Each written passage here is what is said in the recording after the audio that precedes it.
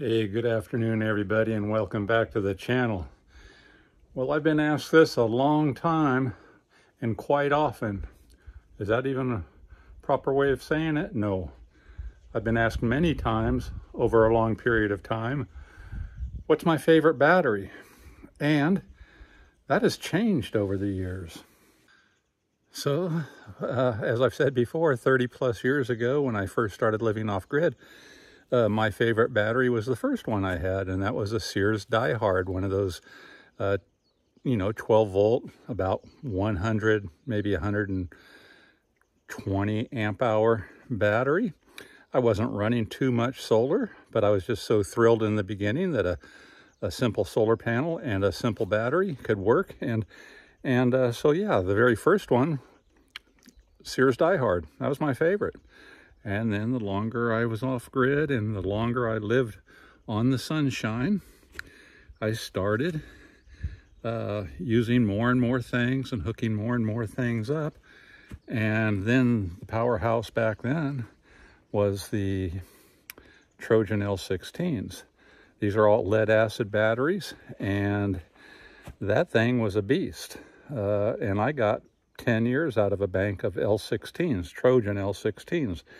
They were spendy back then, and I'm sure they're still spendy now, but I don't ever want to have to try to carry one of those lead acids ever again, and we've all gravitated now towards lithium iron phosphate.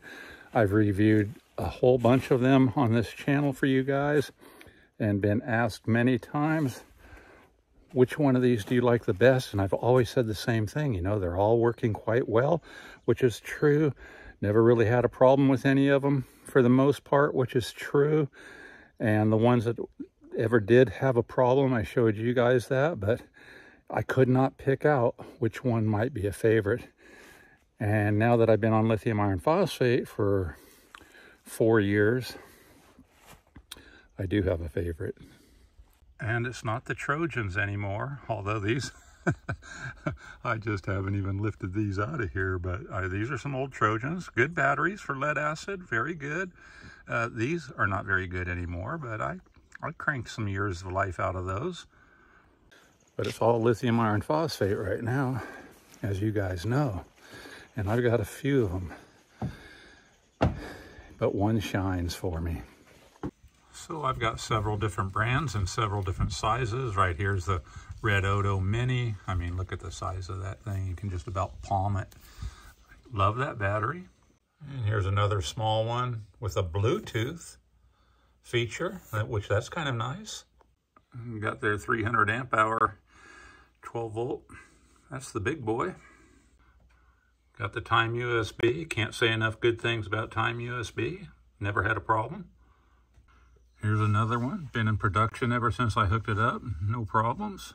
And then back here, my original babies, the Chins. Never had a single problem. These are the ones I've been running the longest, over four years now. Uh, never had a blip on the radar with those. Nothing. They just do nothing but work as they should. And the only thing that I've really added to these, that you know, it's not really necessary. I mean, it doesn't affect any of the, you know, usage of it whatsoever. But you know, I put in a shunt and and here's the shunt, so I could have a, a real good indicator of what we're used to for a state of charge. I mean, I could look at the Victron app, but we know we don't want to really chase voltage around to know what your true state of charge is. So on most of my systems, you know, I did add the shunt so I could look and see like this one 60 some percent full and charging. And that way, just at a glance, I always know what my battery banks are looking like. And, you know, it's in great shape. But yeah, these were kind of a necessity for me when I first started, and I still love them, is having a, a real clear indicator of where is my battery bank? You know, because we know with the flat discharge curve on lithium iron phosphate, you know, the whole time it's discharging, it can be reading 13 too, and we never, I never knew what that truly meant all along the line. But then you put in, you know, what we're used to seeing, like a, a you know, a real gas gauge, right? And this was very helpful. And I put it on most of my systems. I've added the shunt. So over the years, when you guys have asked me what's my favorite one, I could say, man, I just didn't have a favorite because they were all working so well. And they still do. You know, whether I've got four years on them, three years, or a couple of years, they're all working just fantastic. And the only thing I really had to do for me to always know where they were as a state of charge was add that shunt. So you guys might be knowing where I'm heading with this. So even though I've been running a lot of these batteries for several years now, my absolute favorite, I haven't been running for that terribly long, and it's definitely my favorite, and I'll tell you why.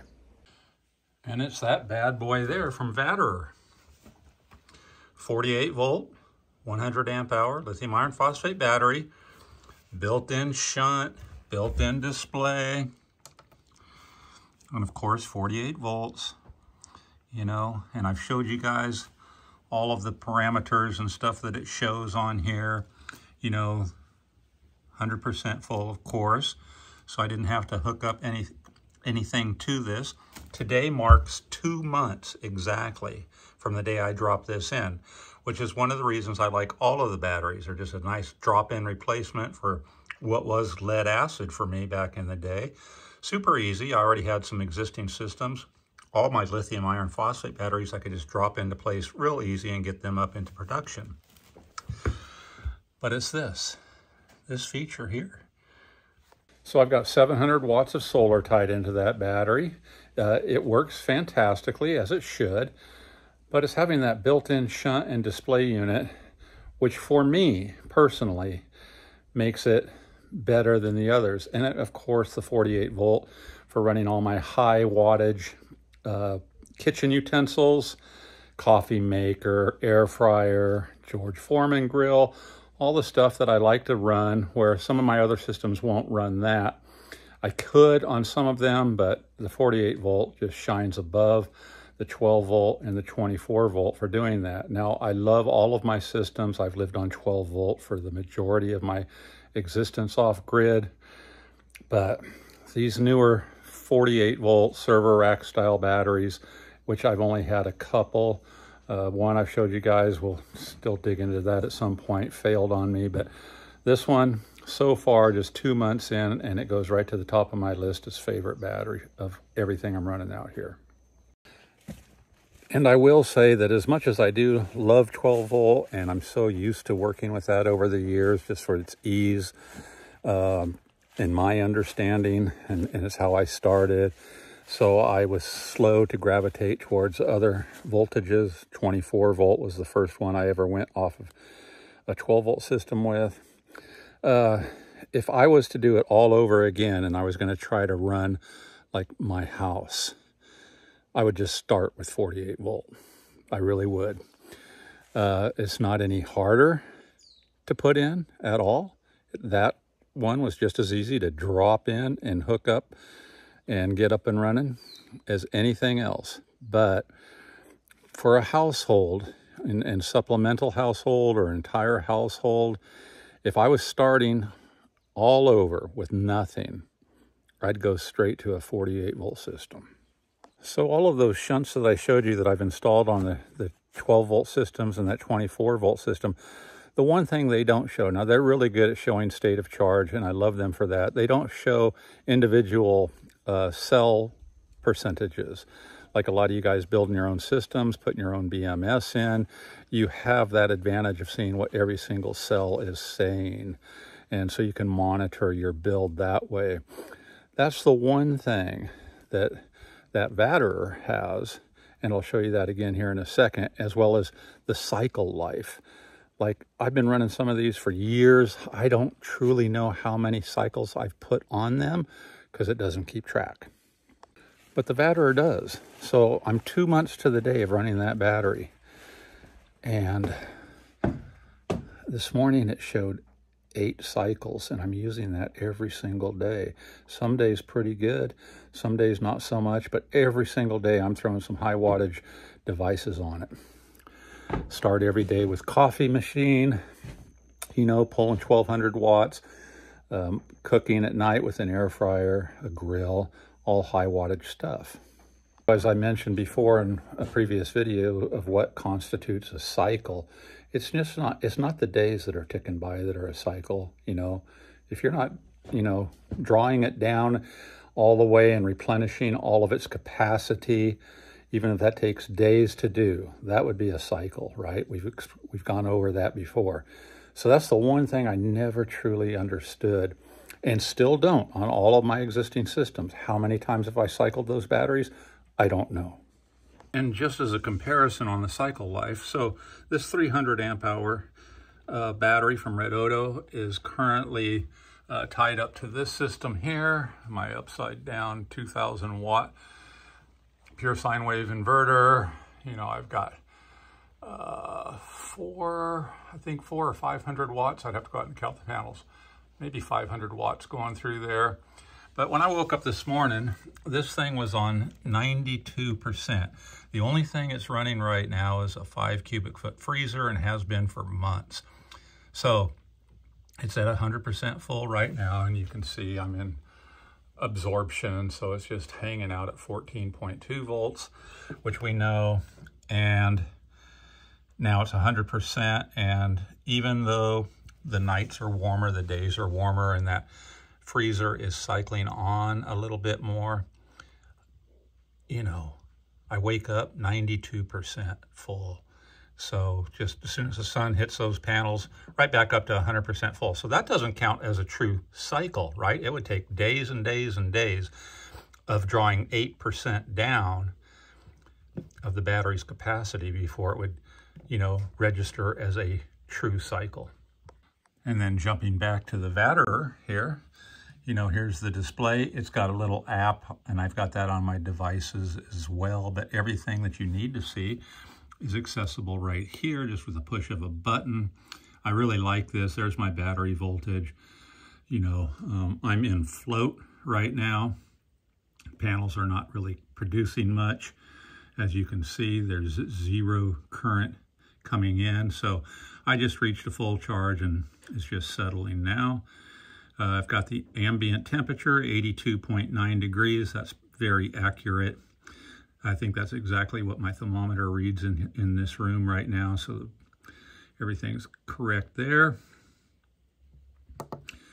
On page two, that's what I like to see. Two months, used it every single day for two months, 60 days now.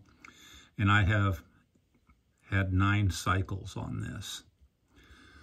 And then this is the other great thing that unless you're building your own system,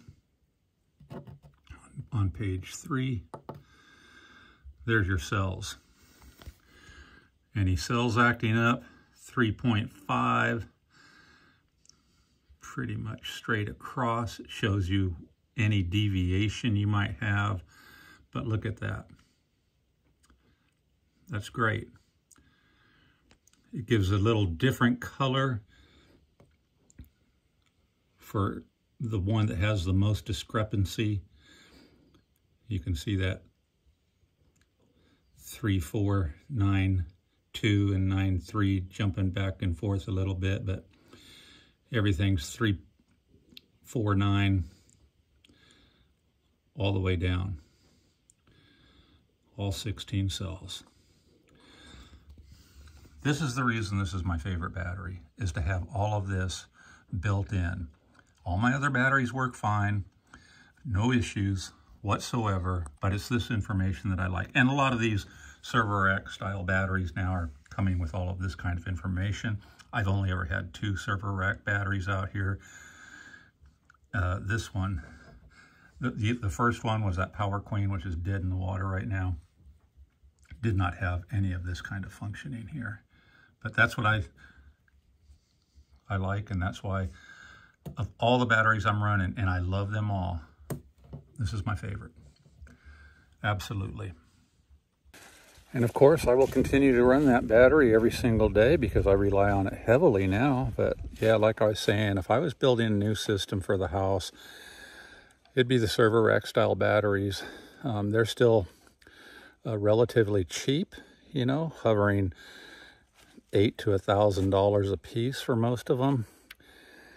And, you know, the 48 volt charges up so fast. It's so efficient. Uh, you don't need the heaviest gauge uh, wiring for all of it. That you know, the list goes on and on. But, Yeah, that one quickly went out of four years of using these batteries and loving every single one of them where in the past I just said you know what I can't choose choose a favorite because they all work as they're supposed to uh, and this one works as it's supposed to but it's my favorite so I meant to say $800 to $1,000 is kind of where I'm seeing uh, those server rack batteries hover around in price range I haven't seen any uh, drastic changes recently. I'm still seeing them in that price. So yeah, I guess I do have a favorite now. and I racked my brain before in the past trying to, you know, say like, oh, this one's better, that one's better, but they're all doing just fine, every one of them. So regardless of your needs, guys, I mean, lithium iron phosphate is still the way to go uh, until the next new thing comes along. But yeah, I'm very happy with all of them. Very happy. Uh, but I, for my personal purposes, I like having all that information built in. There's nothing else for me to hook up. So yeah, I hope you guys enjoy that video. As always, I enjoy bringing them to you. So, alrighty. Have a great day, everybody. Catch you on the next one. Just putting in some steps here. Feels good. Yeah, feels good. You guys rock. Very patient crew you all are.